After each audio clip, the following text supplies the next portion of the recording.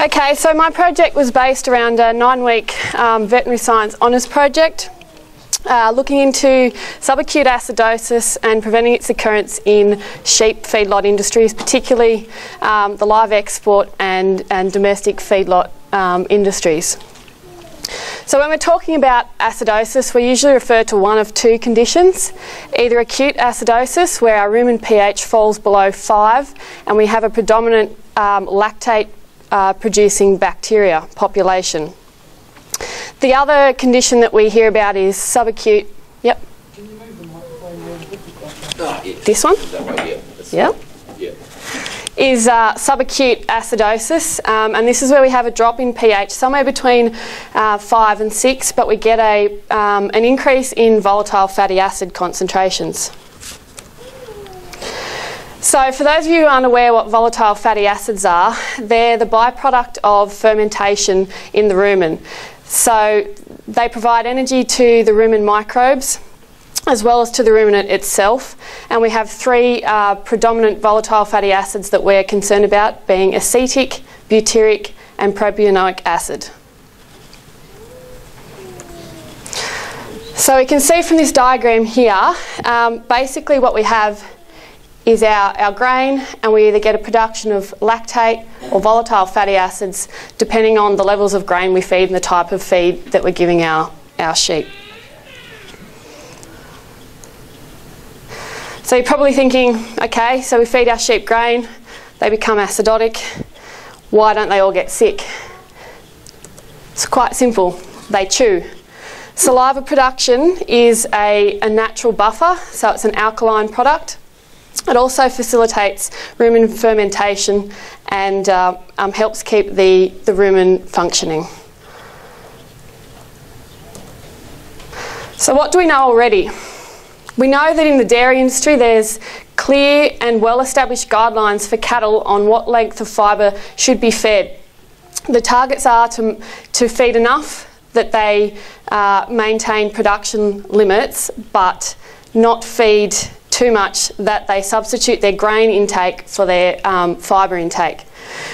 However, in the sheep industry to date, there's no published um, guidelines or papers uh, for chaff length and what we should be feeding uh, sheep. So this is where we came into it. We set up a trial with 24 first cross wether lambs. They were housed individually and fed a wheaten chaff and a rolled barley diet. We split them into one of three groups. We fed them either short chaff, which was a standard six mil chaff cut, unchaffed, which was um, our long treatment group, or a medium chaff length, which was somewhere in between about 10 to 15 um, mils in length. The samples we collected um, included rumen fluid, so we tested that for pH levels and VFA concentrations over the first three days of grain feeding. And we also collected chaff and grain intakes for 10 days. So what did we find? Basically, we found no difference in pH between the three treatment groups over those three days of measurements. We found some differences in volatile fatty acid concentrations, but the main result to come out of this was significant differences in intake both at 3 hours and 24 hours post feeding. So we've got our rumen pH data here. We can see that they all start around 7.2 and as we begin to feed grain they drop down to close to our 6.0 which is what we were aiming for for our subacute acidosis. But as you can see there's actually no difference between any of the groups throughout the sampling period. We've got our total volatile fatty acid concentrations and again the main focus is the last, the last three time points where we were feeding grain and although there's a slight difference here, by the end of the, the third day, again, no differences between the treatment groups. However, it's important to note that although there weren't differences, significant differences, the top level of volatile fatty acid concentrations belong to the medium chaff treatment group. If we have a look at our three hour intakes, starts to get interesting. We have our short chaff treatment group on top, way out ahead of both our long and medium treatment groups. So remembering this is at three hours post feeding. So we've got two to three times the level of intake for our sheep eating the short chaff. And then we move to our 10 days worth of data on our daily intake. So this was measured um, prior to feeding the next day. So we've got 24 hours worth of intake for our chaff only. We get a peak here at day four. Um, that's where we increase grain from 300 to 450 grams per head. Um, and although intakes are higher for our short chaff group, for the, the 10 days, the important thing to take out of this here is by day 10, again, we had no significant differences in intake between the three groups. We can also see from this that although the intakes were higher, by day 8, when grain levels were heading up towards 600 grams per head per day, the short chaff treatment group had a noticeable decline in intake with the higher levels of grain feeding. The other thing to take out of this is the pattern. So we've got our short chaff intake is quite irregular and cyclic and this is something that we'd expect with sheep um, suffering some, from subacute acidosis.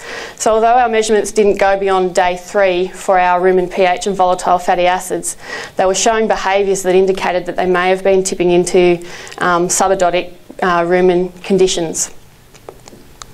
The other thing to note is our long chaff group, although the intakes aren't as high as our short chaff, it provides a more stable pH, uh, sorry, intake level across um, across the 10 days. So this indicates to us that um, there's a more stable rumen environment across the 10 days of feeding.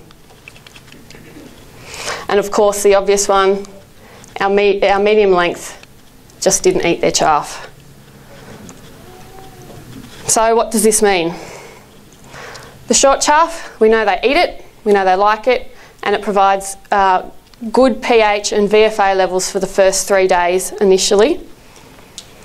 Our medium chaff, it was pretty clear that they don't eat it. Um, it had the lowest pH. Again, it wasn't significant, but it was the lowest of the three, and the VFA levels would be considered uh, reasonable.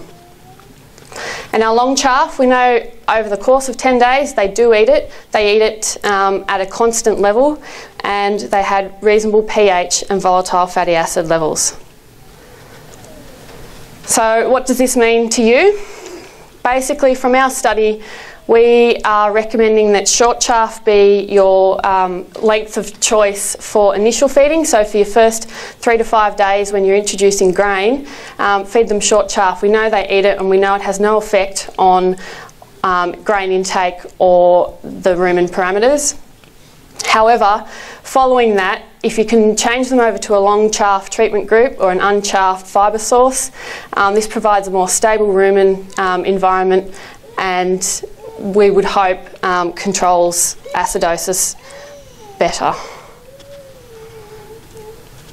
And I'd just like to thank um, Dr Michael Friend and Edward Clayton for their help with my project.